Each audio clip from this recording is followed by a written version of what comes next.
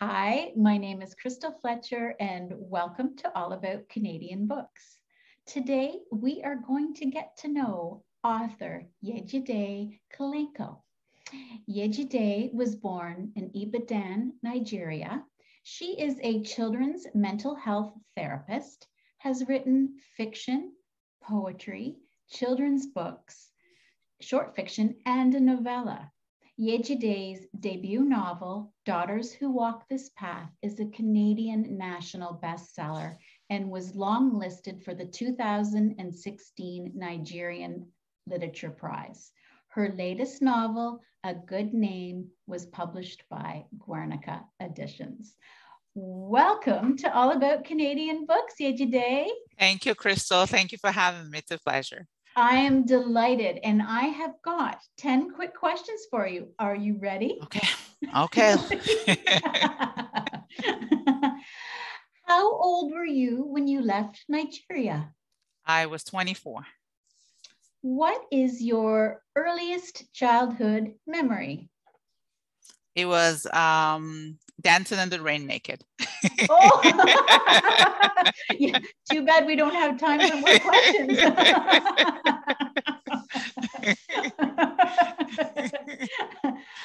what do you miss the most about Nigeria? The, my family. Yeah. Yeah, the people. How old were you when you started to write poetry? I was 12. 12. Mm-hmm. Now, in your bio, it says you had a big, loud African wedding. Yes. I love that. What is your favorite memory from that day? Um, it was my father. Uh, but my parents are late now.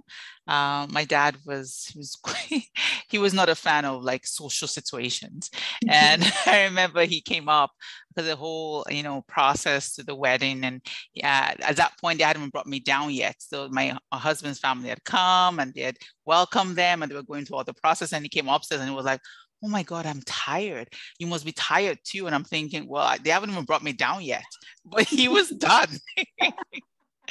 and and yeah, so that was because he made me laugh, but that was him. Like he was he was done with all the people. so yeah, so so anytime I remember him, now I remember that, and it makes Aww. me laugh. Um, why did you decide to become a social worker? Um, it was actually because I, uh, my older, my oldest son, my second child, um, was had was born with some special needs, mm-hmm. and um, he's a young man now. And I realized that he was going, I was going to navigate some services for him, and I thought, what's the best way for me to I, that for me to be able to do that for him? I need to mm-hmm. understand the system, and uh, that was why I decided to become a social worker. Okay. Um, Yejide, what does your name mean? So my name Yejide means mother has come again. So a mother has uh, reincarnated, woken up again. So it's a, a Yoruba name. That's the name of my, my West African tribe. Uh, it's a name given to female um, children born after um, a mother or grandmother passes. And so because we believe in reincarnation, that the, you know, the mother has come back again. And so in my case, I got the name because my paternal grandmother passed 10 months before I was born. And so, so I'm meant to be my grandmother come back. Oh, I love that story. And it's such a beautiful name. Oh my Thank goodness. Um, who is your hero? Oh, ah, I don't, I honestly, I, I, I don't I don't think I have one hero. Like I think I have a bunch of different people in my life who I admire.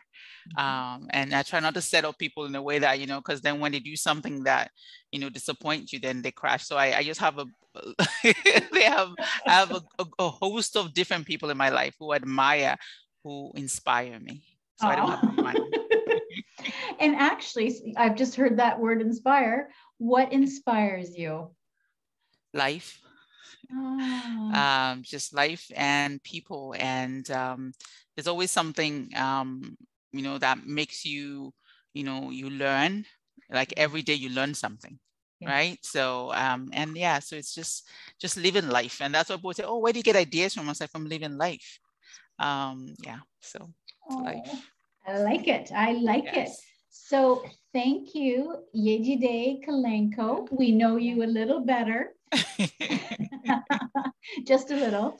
Yeah. And to all our viewers out there, please come back on Thursday, February 10th, because Yejide Kilanko will be back and we'll be talking to her about her novel, A Good Name, and you don't want to miss it. Thank, Thank you. you. Thank you. See you then.